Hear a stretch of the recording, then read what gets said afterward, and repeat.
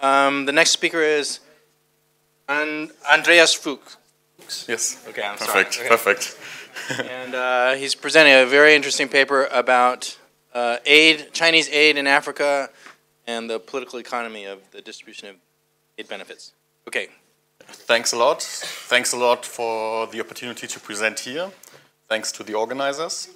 So my paper is entitled Aid on Demand, African Leaders and the Geographies of China's Foreign Assistance, and it's a, a joint project with Axel Dreher, who's also at Heidelberg University, Roland Hodler from University of St. Gallen, Brad Parks and Mike Tierney from the College of William and Mary, and Paul Raschky at Monash University in Australia. So essentially, we work from all time zones to keep working around the clock on this paper. Um, so this is a photo uh, taken from a blog post by Acemoglu and Robinson, and it essentially tells you the whole story I'm going to talk about for the next uh, hour. So um, this is a picture of a school, and Acemoglu and Robinson ask, where do you think this fancy school is located? It is a small village, Yoni in Bombali district, which is in Sierra Leone. It was recently built there by China Aid. Why would anyone want to build a wonderful school in the middle of what Africans call the bush? Here's a hint. Yoni is the home village of Sierra Leone's president, Ernest Bai Koroma. And um, so essentially, Acemoglu and Robinson are suggesting that um, the home village of the president attracts more Chinese aid. Um, they are using a picture to demonstrate this, and we are going to use a slightly more rigorous empirical strategy. Um, so what's our research question? Is China's foreign aid particularly prone to political capture by political leaders of aid-receiving countries? If so, if we find evidence for this, is China special, or do we find a similar pattern for the World Bank, one of the other big donors on the African continent? So we will examine whether more Chinese and World Bank aid is allocated to the political leaders' birth regions. Um, our main finding is, yes, we indeed find that more Chinese aid flows to the political leaders' birth region, and China really appears to be special. There's no similar finding um, for the World Bank. So how do we contribute to the literature? Or there's a question? Yes. Mm -hmm. Good point. So I think the ideal comparison would be to compare it with another big bilateral donor, which would be the United States. The problem is there's just no such data available. And I'll discuss a bit the data gathering process for this. And um, so the effort would be huge if feasible to do the same for the US. There's uh, no, no, nothing available. The only other donor which should be available by now is um, the African Development Bank, and this wouldn't be a big advantage over the World Bank, but theoretically we could do a robustness check. Yes? Uh, yes, I come back to this. Uh, that's a major issue. Yeah. Okay. Um, so contributions to the literature. So we introduced the first georeference data set on China's development finance. And it's also the first georeference data set on a bilateral donor in Africa for the entire African continent. So with this new data set, we can run the first multi-country panel analysis of aid allocation below the country level. We are going uh, to estimate a causal effect of recipient political motives on the allocation of aid. At least we are going to convince you that um, this is a causal effect. Um, and we are going to uh, contribute to the literature on emerging donors as we are going to compare a new donor, China, with the, one of the big traditional donors, um, the World Bank. So why is um, new in, in, quotation marks? Of course, China is not a new donor at all. It provides um, development assistance since the 1950s. Um, but yeah, it's commonly called one of the new so-called new donors. So what's in particular new is the attention it receives.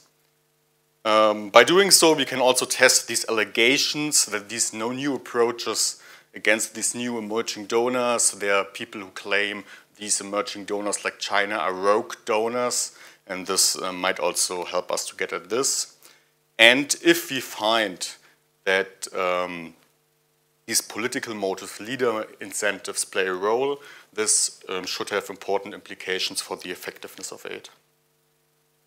Um, so the most part of the empirical aid literature has been focused at the country level, and there's a lot, so I could cite 100 papers probably.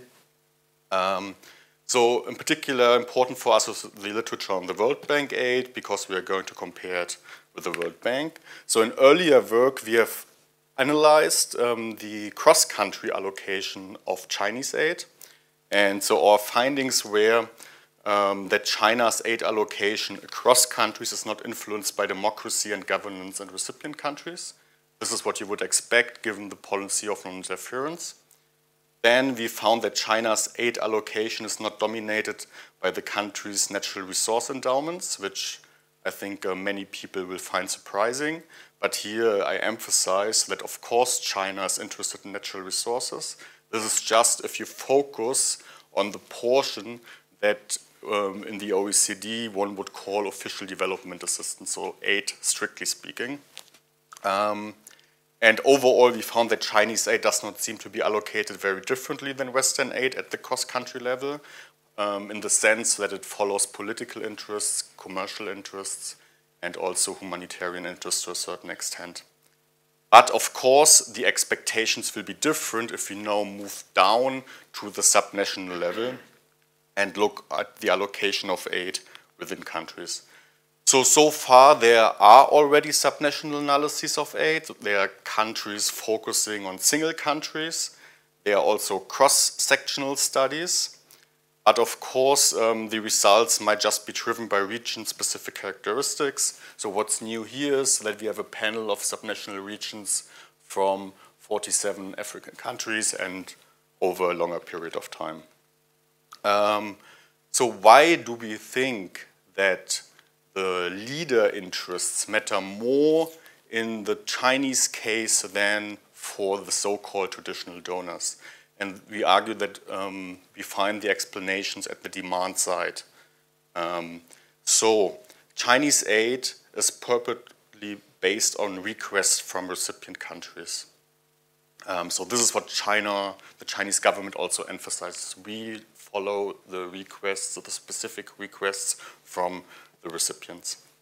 So how does the whole aid process work? The aid process formally begins with the host government proposing a project, then um, submitting the application to the Chinese Economic and Commercial Counselor's Office, which is based at um, the respective country's embassy. Then the application gets um, transferred to the Ministry of Commerce, MOFCOM, which is the lead agency in Beijing overseeing the aid program and to the Ministry of Foreign Affairs in Beijing. And so many of the ideas driving this idea of non-interference, um, demand-driven aid, go back already to the aid principles for China's aid to foreign countries from the 1960s. So we talked to um, um, the relevant um, officials in the ministry. So at MOFCOM, um, they confirmed that the initiative generally comes from the recipient side, Ministry of Health. Um, they are responsible for parts of um, the health aid. Um, they said we sent medical teams to the areas selected by the host government. so given this demand-driven aid, um, we argue that leaders have more room to direct aid according to their selfish interests.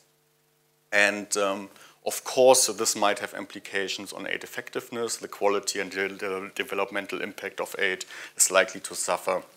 And previous research has shown that aid effectiveness is a function of donor motives.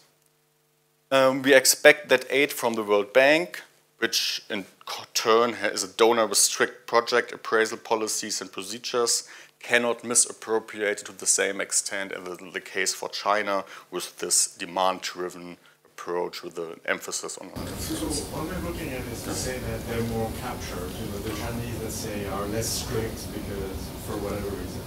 But the other is that it's kind of clientelism, that they, they on purpose uh, please uh, corrupt leaders because then they get political mileage out of it. whereas the World Bank has a different objective function. I mean, there are all sorts of things, but that, that's you know, one way of looking at it. Yes, so really good point. So we have in this paper no direct evidence on whether it's just captured or whether it's clientelistic behavior. So from the cross-country study I've uh, shown earlier, we see a link between the voting alignment in the United Nations General Assembly and the amount of Chinese aid, which hints at this uh, idea of clientelism. But sure, we cannot rule out that it's just captured. That's true, though we don't directly speak to it. Uh, I think you were first. So what's the relationship between the Chinese aid and Chinese direct investment? Um, so, yes, so there are linkages and much more linkages than in the case of OECD aid between um, aid, trade, and investment. So often it's a loan to support foreign direct investment but you have everything in it. So it can just be the construction of a school, the disposal of medical teams across the African continent. Then I see no direct link to FDI, but again, there are loans that support FDI also in it. So what we will do later, we will look at all aid broadly speaking, which includes those projects that are linked to FDI, and then at a portion that um, would comply with OECD definitions of uh, official development assistance, and so to get a bit at this. Um, yes? So, so the aid here also have uh, many, uh, across in many industries, right? Not only for the like the manufacturing or maybe education, also have many other other kind of like uh, version of aid included? Um, so China by now is active in virtually all sectors, eight sectors, so meaning health, education, government, um, everywhere. So there are really few exceptions. So when we started the project, there was a single sector where we couldn't identify a project, and this was environmental protection. But now it changed. So over the last couple of years, China understood that they have to catch up. And um, now there are also projects on green energy and building environmental parks in Algeria and so on. So, but your question was more about services versus, so this is not the real aid. The real aid, um, so this was more an FDI question, I think. But then, of course, it can support um, FDI in the service sector, can support FDI in the manufacturing sector. Um, yeah.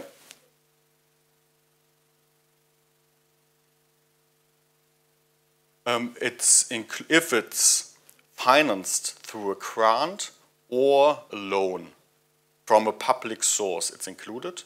If it's just a private activity, it's not included.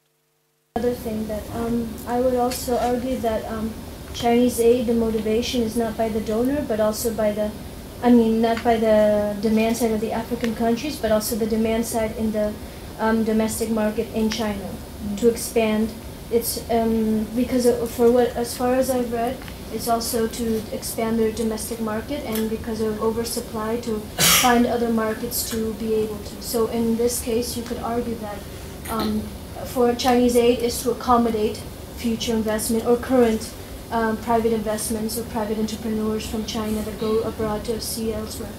I completely agree. The demand side, uh, the Chinese demand side plays a big role. Here in the paper, we just focus on the African demand side. Ideally, what one would like to have is subnational data on the positions of um, Chinese companies, for example, to get more at the Chinese demand side. But this is um, not what we are going to look at here. But it's not, I think it's no contradiction. Yeah, and additionally, I don't know if you've done it in the paper, but there's also a lot of local regional governments, provincial governments that are doing um, deals or Chinese aid or Chinese foreign direct investment to uh, specific countries. So at the provincial level from the Chinese side to a country level at the African side. Uh, yes, so this would would be in. So we don't. It's a bit hard to get at it, but it's official. We would call it its official aid because it comes from an official source, and we don't care whether it comes from the central government or from the provincial government. Um, but both is in, so we have projects from both. Uh. so, in terms of the political motivation for this aid, uh, do you find any systematic difference between those countries who, uh, which already have you know formal uh, diplomatic relation with China versus those who don't? Um, yeah. So uh, this plays a big role. So in principle, countries recognizing the government in Taipei, Taiwan, don't get aid from China. There are really few, few, few exceptions, like humanitarian aid, uh, Haiti earthquake, maybe some multilateral aid, but in principle, these countries don't receive any aid. Yeah, related to previous questions. So I suppose that uh, not all demands can be satisfied by Chinese government, right? So, so if so, how how does Chinese government pick which project to support? So if you, the, the, the Ministry of Commerce, as you said, can observe something that you cannot observe in the data, mm. I, I, I su suspect that this might uh, affect your estimation, right? potentially, maybe I show you my empirical strategy and we can come back to this. On the previous question on Taiwan recognition, this plays a role in reality, but not in our empirical set setting, I should add, as we look at variation within countries. And um, so Taiwan recognition, for example, plays a role um, for Chinese aid between countries, but we look at Chinese aid within countries. Okay, so let me continue. Um, so data, so this um, I think was one of the most challenging parts of it. So no comprehensive official data is available on Chinese aid allocations. Then there's also this unclear boundary between investments that um, one of you already has hinted at. So what, um, and even if there's some data on it, but this is not systematic, they won't follow the OECD guidelines, so it's difficult to compare it at least. So what we still do, we don't believe that the OECD definitions are good, but for the sake of comparability, we follow the OECD guidelines. So we define official development assistance as grants or loans to developing countries and to multilateral agencies, which have to be undertaken by the official sector. They have to have the idea of development in mind, and there has to be a gift element attached to it. Um, so China's aid flows are treated like a state secret. This is at least what others uh, say. There are now these white papers out, but they don't give you any details uh, at the project level, not even at the bilateral level. So um, what are potential reasons for it? So I did some interviews at the Department of Foreign Aid in the Ministry of Commerce in Beijing. And so they confirmed um, the first one at least. So this is in the low administrative capacity. We just don't have the manpower to build such a database. The others are uh, reasons given in the literature. So one is to avoid pressure from recipient countries to increase aid to the respective level of their peers. So imagine Zambia gets amount X, then Tanzania wants the same amount. Then uh, there might be domestic criticism giving the still existing poverty and inequality within China. Um, so there's on social media, there's some discussion. And then, of course, there's just a disinterest to comply with the Western standards. So this would be a reason not to provide data to the OECD, um, which totally makes sense. Um, so what we did do in a separate project, in earlier projects, we built our own project level data set of China's official financing to Africa. It's an open source data collection methodology and we use information from media reports. Then sometimes the recipient government reports data on incoming aid, we use this, NGO reports, um, scholarly articles, and then we use the few official information that's available, MOFCOM and Chinese embassy websites. Then we categorize all projects according whether they, um, whether they would comply with the OECD definition of official development assistance. Then we have all other official flows. And then we have a third category, where we are sure that the project is one of the two, um, but we do not know which one because we lack sufficient information sometimes on the concessionality of grants, for example. So the resulting dataset includes more than 1,650 development projects uh, to 49 African countries since 2000, and it's more than 83 billion US dollars. Um, so everybody can go online, can have a look at our projects. So the idea is um, to have it publicly available. Everybody can check the sources. If somebody has additional information available, you can report it on the platform. So here's the example of a children's hospital in Senegal that I've visited. And then you get all information, health sector, whether it's completed, whether it's coded um, as ODA or not, and so on, how expensive it was, and a short description. Um, so for this project now, as we want to analyze the within-country allocation of Chinese aid, um, we had to geocode each individual project. So more than 60 research assistants were involved, and we use geographic information system software to assign projects to the first subnational administrative region of a country and to the second subnational administrative region of a country. What is it? So in the US, the first uh, admin one region um, would be a state, and the second one would be a county. So we end up with 1,898 project locations at the admin one level, and then we have the comparable data for the World Bank. What's, uh, um, question?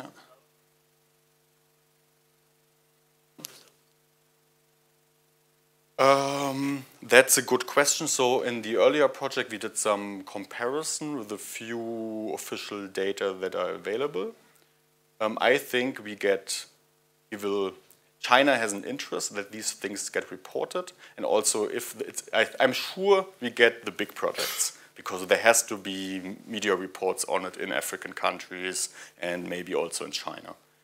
I agree we will lose a lot of the small projects like scholarships and so on.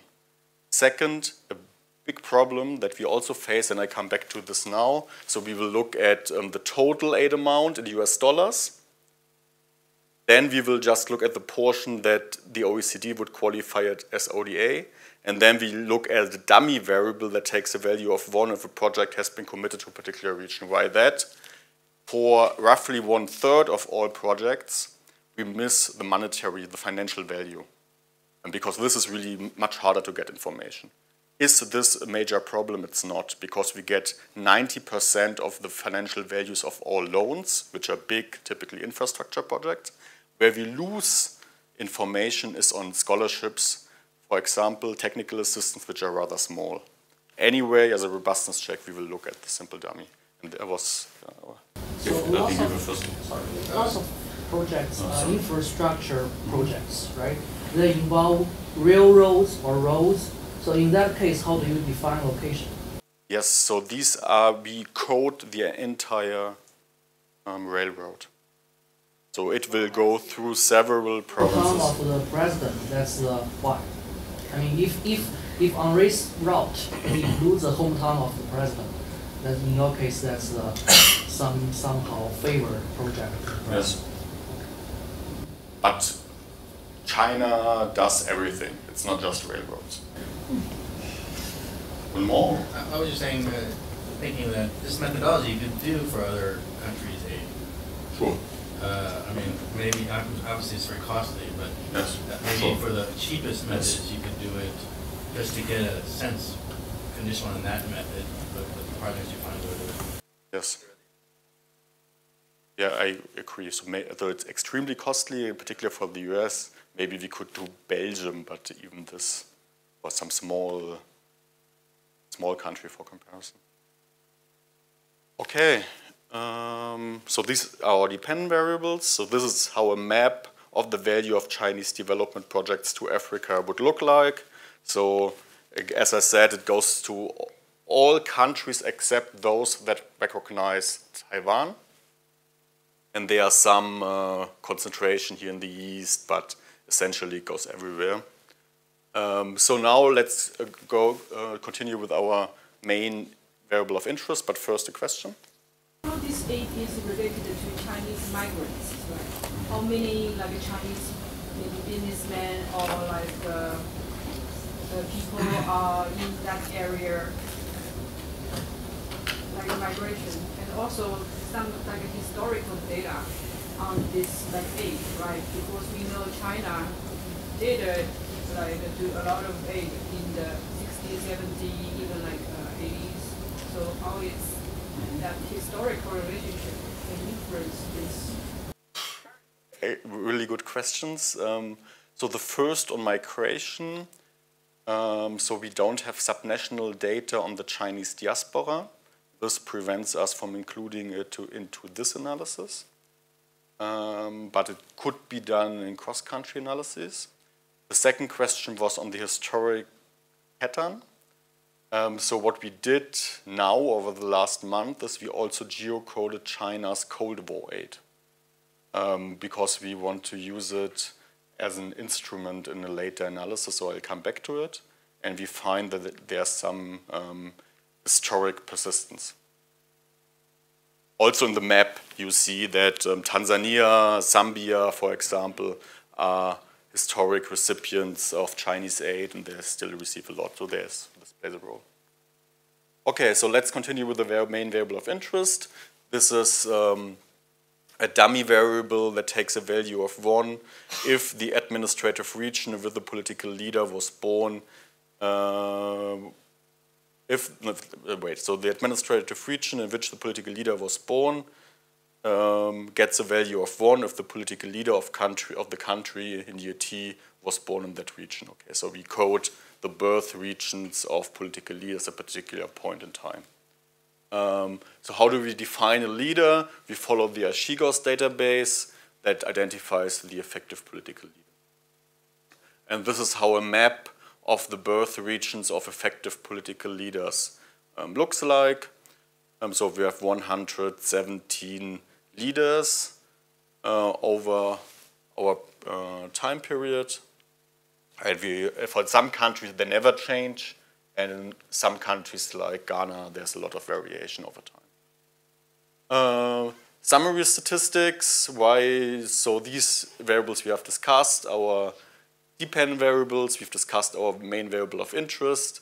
In some regressions, we are going to control for um, nighttime light. Why that? This is used as a subnational proxy for provincial GDP. We are going to control for the population uh, size in a province, whether the province is a capital region, so whether the capital is in the province, because capitals are different.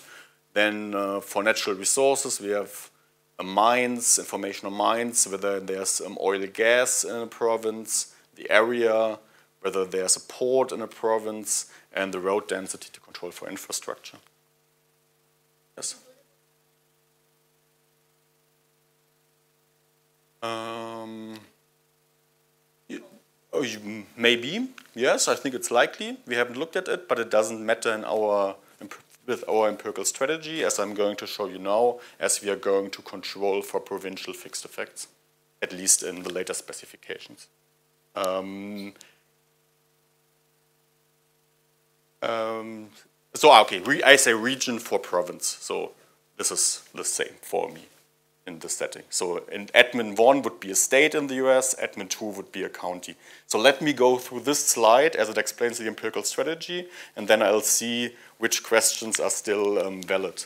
So first specification is we explain aid, our main variable of interest is birth region, and then we have country time fixed effects in it, and then the set of controls I've just shown you.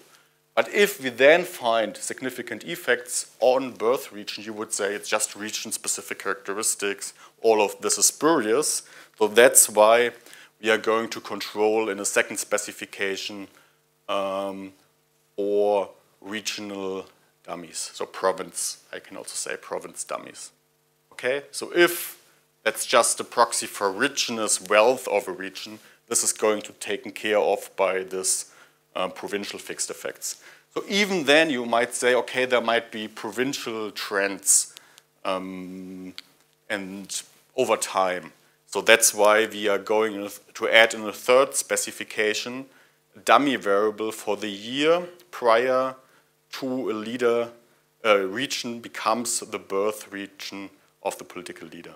Okay, so if there were some underlying trends, this should be significant already in the year before a region becomes um, the um, birth region of a political leader. If there's still, we are also going to add a dummy for the year after.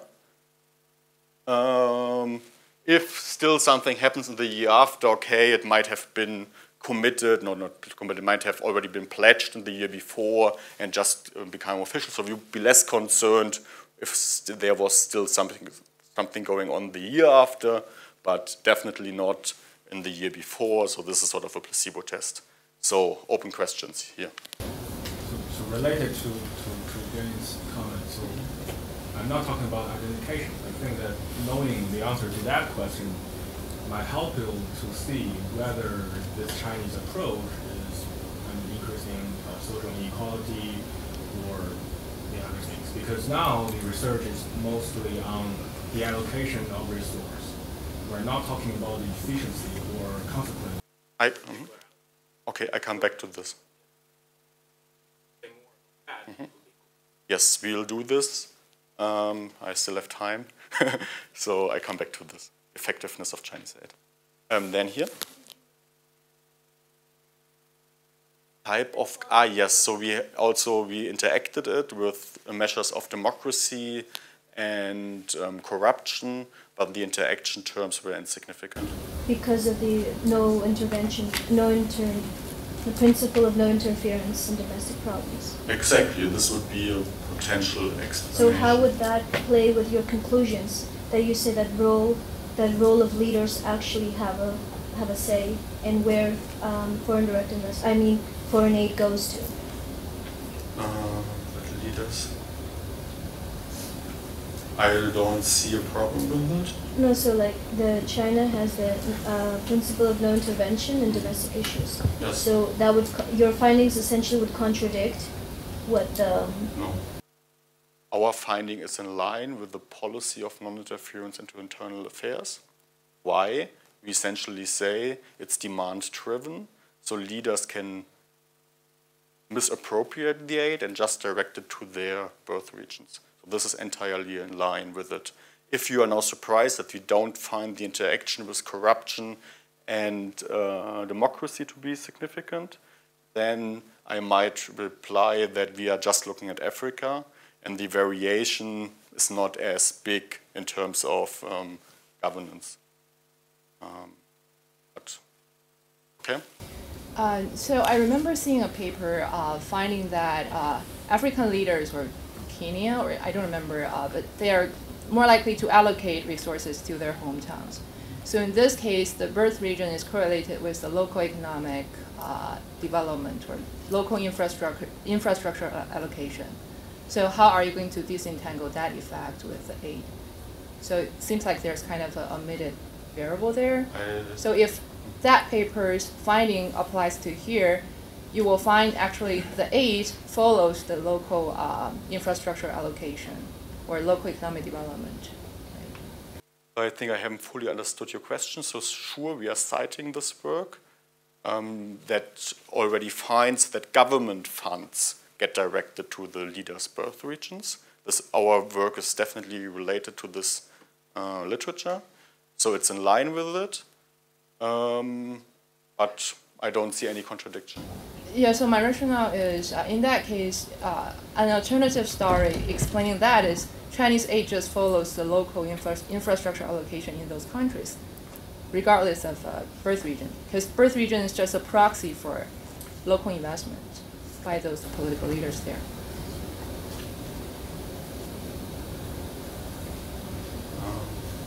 Or But- probably we but can the- disagree. I don't see the issue with it. So Yeah, it's, but, but, but the first reason ICT change over time.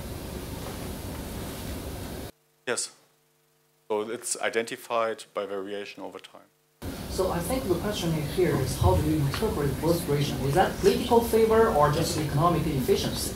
Because all the good things go to the hometown. Yes, so later, yes, it's a really valid point.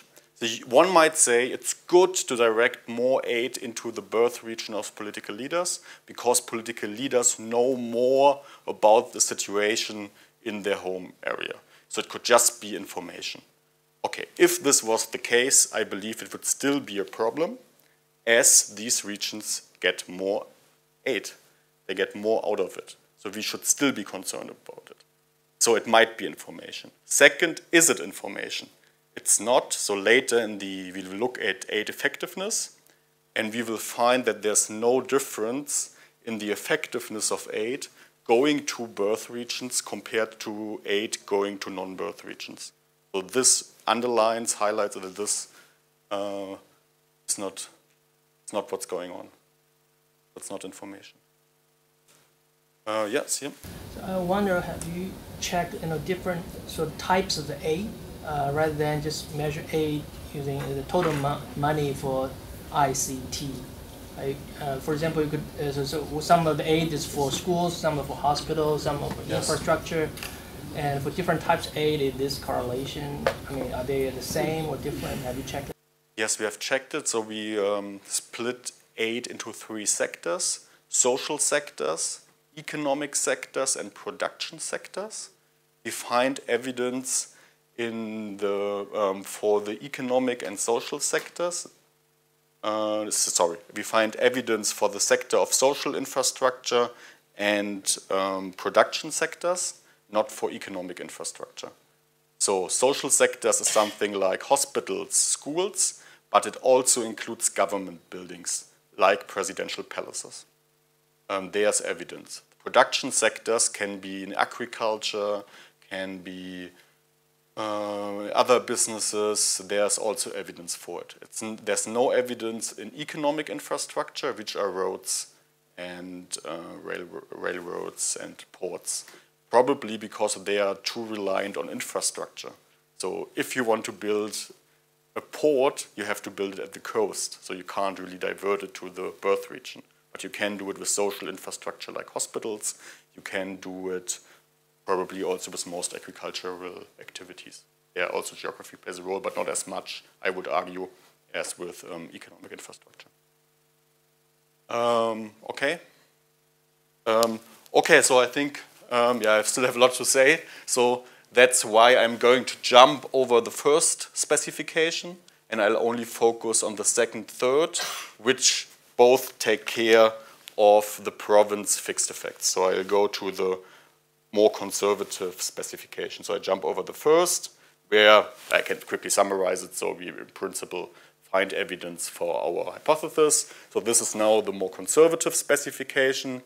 So this is um, the effect of birth region on Chinese aid at the first subnational level, at the second subnational level. So what do we find? We find um, birth region to be highly significant when we look at total flows at the first subnational level, and we find aid flows to increase by about 270% to admin 1 regions containing a leader's birthplace. Um, and if we go further down at the admin 2 level, the effect is it's still positive, the coefficient, but it becomes insignificant once we control for the province level fixed effects. If we, here we define birth region then at the admin 2 level. If we replace it with birth region at the admin 1 level, it becomes significant again. Um, the results also are similar when we just look at ODA-like flows. So these are flows um, that would comply with the strict defin definition of the OECD and also holds um, for a project dummy. Um, then we also look at um, the trends, so the dummy variable indicating the year prior to the birth of the political leader and the year after. And so here we again find evidence for the supposed effect at the first subnational administrative region.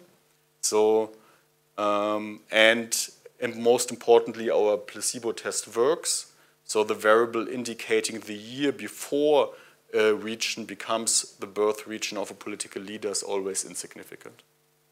And as I said earlier, um, we are less concerned if there's still something going on in the year after because you might have already started the planning of a particular project. And in general, it's insignificant. So we have here one case where the post-birth dummy is significant at the 10%.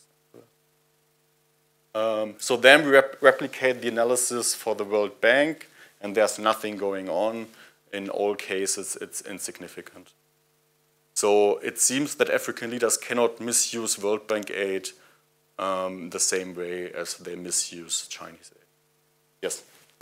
Uh, two questions. Uh, I guess they are related. The first question is that you, in your data, you only see the aid that's approved by the Chinese government, but, but uh, you do not see the aid, the application that's not approved by Chinese government, right? Mm-hmm. And the second question is related to the economic efficiency for example, if Chinese government know that the local government, the native government will all in advance that will invest more in their uh, birth region, right? So it's more efficient maybe from the economic perspective that for Chinese government to also invest more because aid and local investment are complementary if that's the case. So this is maybe rational, a rational decision for Chinese government.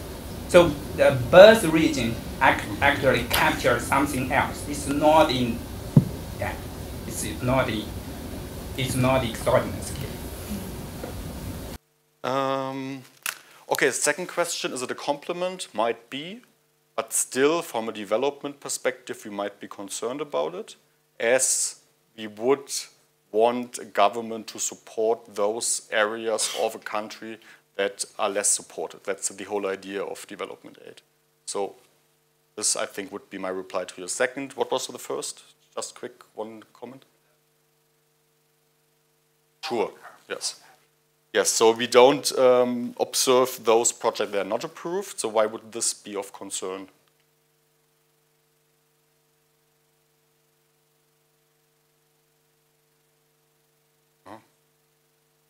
I think this works now in our favor, as I would suppose that those projects that do not get approved are probably even more uh, focusing on, but this is just speculation, but they might be even more focusing on the personal interests of I guess his suggestion may be that the governments are proposing the project to China somehow, and it's all coming from the birth province. But I guess it's, it's maybe not unique to the yeah. Yes? World Bank actually changed the way how they conduct uh, the foreign aid during the past half century. Initially, they basically do just what like China does now, which is basically give the country, the recipient country, the whole money, and, and the government, the, the recipient country decide how to allocate the aid. But then in the later stage, in the World Bank changed the way, and now it is basically project based. So, so, so they just send a team of you know, uh, World Bank economists and go there, go to the field and monitor the whole project. So I wonder uh, whether, I, I, noticed that your data cover from uh, 2000 to 2011, so the second phase. I think it might be useful if you also look at you know, the World Bank uh, foreign aid data before that, for the first aid. So then you compare you know, the, uh, the, the behavior, World Bank behavior during that period uh, with China's you know, foreign aid. So, so basically, it's really you know the, the, the, the way you know is a project based or the total amount based that you know difference, or it is more about you know political something specific to China versus to Western style in terms of ideology, etc. So I agree it would be nice to go further back in time with the World Bank aid. In the meantime, it has been geocoded since 95, 1995, so not much more so I am not sure whether this helps. I think it will be really hard to go further back because we don't have project descriptions for older World Bank projects. And also now even the Chinese case, of course, we don't have project description, but we can do internet searches and this gets harder if the further you go back. Yes? So uh, I'm not sure whether you can explore the timing of the investment. Uh, so for example, uh, just going back to Ma Xiang's point, uh, this investment on the uh, hometowns of the political leaders could just be a strategy of China to enter into that market, for example. So if that is like one of the first investment to that country, or the, one of the first aid to this country, investing in the leader's hometown could help them to open the market there. So I'm not sure they can test it. So I think, again, if we are talking about aid, we should be concerned about the development outcomes. If we are talking about investment, you might be right. In all these cases, Chinese aid goes back to the 1950s, so it's not the first aid intervention. Yes?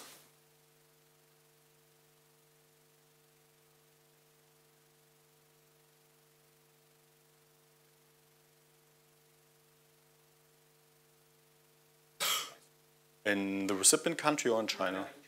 In China, there's, as we discussed earlier, there's um, aid uh, by the central government and by provincial governments. At the central government level, it's at the Ministry of Commerce, at the Ministry of Foreign Affairs.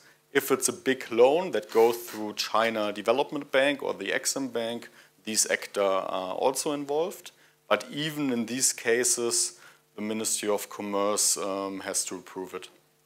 They still remain involved. The government is always involved, but to different degrees, depending on whether it's a big loan or more grant. I, I think you were first, I forgot you. Sorry.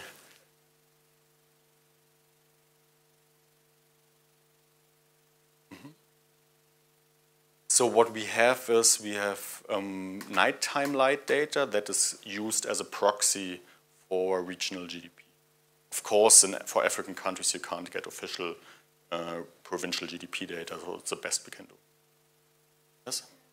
Do you think it would be um, like interesting to do infrastructure, FDI, and if that has any influence in regards, and I mean, um, foreign aid, yeah, and um, health and education because I know that uh, China does a lot more heavily invest on um, on infrastructure versus um, the well the U.S. or World Bank that does a lot more in education and health in this case. So would that skew the results or would that change anything? Because in, in regards to quantity, infrastructure you said that has no effect to regards to the local region. So maybe there's an overrepresent. I'm not defending either one. I'm just thinking. Like maybe there's an overrepresentation of these localized effects of the school, uh, because the very little investment in schools and health for the Chinese counterparts. In regards to then uh, World Bank, which has more investment on um, the variable that does affect the local region, which is uh, school and education. Therefore, there's more more numbers that can standardize the sample in this case. So we have done the sectoral analysis for China, as I mentioned earlier. I think to get at what you are suggesting, we should just repeat the sectoral analysis for the World Bank. This would be, I think, a fair test and see whether in one of the three sub-sectors we find significant effects for the World Bank. So we haven't done it, we have just run the sectoral analysis. Should do. Okay, um, I'm running out of time, I would like to, okay, maybe one sentence on ethnographic regions. So we did the same for um, ethnic regions. What does it mean? Now we change our variable of interest. We replace the birth region dummy by a dummy variable that takes a value of one if the political leader of the country belongs to the ethnic group living in an ethnographic region. Here we find this also significant positive effects for China, but not for the World Bank in our specification one, but it gets, um, so in our specification one, where we do not include provincial fixed effects, it disappears once we include region fixed effects, but it's much harder to code it at the ethnic level of ethnic regions because they are much um, bigger and in particular media reports, you it's more uh, discussed, it's in this particular administrative region, but not in a particular ethnic region, so it's much harder. So at least the specification one would be in line with what we um, find for birth regions. So I'll also jump over extensions and robustness checks because I think we have discussed it now in the discussion. And my last minutes I would like to use um, for the aid effectiveness question that has um, come I think twice or even more often. So does all this matter? So if Chinese aid is not effective, why should we care where it goes? Um, so does Chinese aid have a detectable impact on local development outcomes? So first of all, to analyze this, it's really challenging. Um, so we didn't have it in our initial draft, um, but yeah, we get asked about it, so this is what we did over the last couple of months. So why is it challenging? Because we have a short time window. We only have um, data since 2000. And aid has, at least part of the aid flows have more long-term impact. Consider education, for example. You can't expect an effect in the following year. It may take a generation that the um, effect plays out. Anyway, we are trying to look at it. And then the ex existing literature that mainly focuses on OECD aid is really inconclusive. So there's no, this doesn't seem to be a robust effect of OECD aid on um, economic growth. Anyway, even knowing that it's really hard to identify something, we are going to try it. So what we have also discussed, so we know we are going to proxy subnational GDP data by per capita luminosity output. So following a big strand of literature that's used this now. So it's we have um, per capita nighttime light emissions. We are again going to use country time dummies, provincial fixed effects, and then we are going to use aid now as, as main variable of interest at time t minus tau. So because, yeah, it's not clear whether you might expect already an effect in the next year, in two years, in three years, in four years, and so on. We are going to play around with it. Obvious concern is Chinese aid commitments and subnational luminosity are simultaneously determined by time-varied unobserved factors. I think the endogeneity is obvious. So what we do is we follow Nunn and Qian um, 2014 AER paper who estimated the effect of US food aid on conflict and they use an interacted instrument. They interact um, the um, probability that a country receives food aid from the US with um, the food, uh, no, I've lost it, I think the food production of the US. Um, and so we are going to adapt their strategy. So we are going to interact the fraction of years between 2000 and 2012 that region I received any Chinese aid. And um, we interact this with a variable, um, an exogenous source of time variation. This is the annual Chinese steel production. So the ideas, um, if there's overcapacity in Chinese steel, this might lead to more uh, Chinese aid, as a lot of these Chinese aid, as we discussed, as infrastructure, not only economic infrastructure, but also social infrastructure. um, so what's the idea behind? It's like a diff and diff. The differential effect of changes in Chinese steel production on development between subnational regions with a high probability of Chinese receiving Chinese aid and a low probability of receiving Chinese aid. So in order to believe what we are doing, you have um, to um, yeah, you to find our identification identifying assumption credible, and that's uh, economic development in subnational regions with differing probability of Chinese receiving Chinese aid will not be affected differently by changes in Chinese steel production other than via the impact of aid, controlling for um, country time fixed effects and region fixed effects. So here's what we find. Um, so again, our results at the admin one level, yearly data from 2000 to 2013. So now it's a bit longer because we look at lagged effects. We start with OLS. Um, and here we have um, a one-year lag, two-year lag, and three-year lag. And what we find is we find a positive, significant positive effect of Chinese aid on regional nighttime light after three years. So a 10% increase in Chinese aid leads to a 0.8% increase in per capita light output within an admin 1 region. Okay, now, as we discussed, we should control for the potential endogenous relationship with our IV strategy, and um, this is essentially confirmed. You might argue that um, um, the effect might go also through trade and FDI, and this is why we also control for trade flows and FDI flows interacted um, with the probability to receive Chinese aid.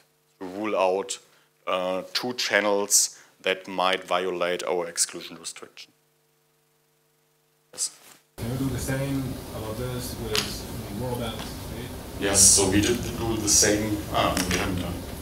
Yes. Also, I think it's maybe useful to include the interaction between the Chinese and World Bank because one of the reasons that people think this is important is that uh, people think these two kind of approaches are competing with each other. But I don't know whether they are really substitute or complementary in, in terms of in terms of allocation and also effectiveness. So yeah, I mean, it would be great if you have the result and then tell the Chinese World Bank they will probably want that to put in their advertisement. Um, I think, yeah, we should repeat it for the World Bank to put it into perspective um, to see whether we find similar effects. It's, it's interesting. But again, so this is just to highlight the importance of these political biases. I think we could do much more on aid effectiveness. And what was your, ah yeah, when they did it for the World Bank. So this is brand new. I think we should repeat it for the World Bank. And so then uh, we have admin two, and here the effects of Chinese aid on development are earlier. Already in the first year, it's at least weakly significant, but as you can see, the effect increases over time, suggesting that there's still a time lag in um, the effect of Chinese aid. So this is rather good news that we observe um, measurable impact of uh, Chinese aid on economic development. Okay, let me conclude.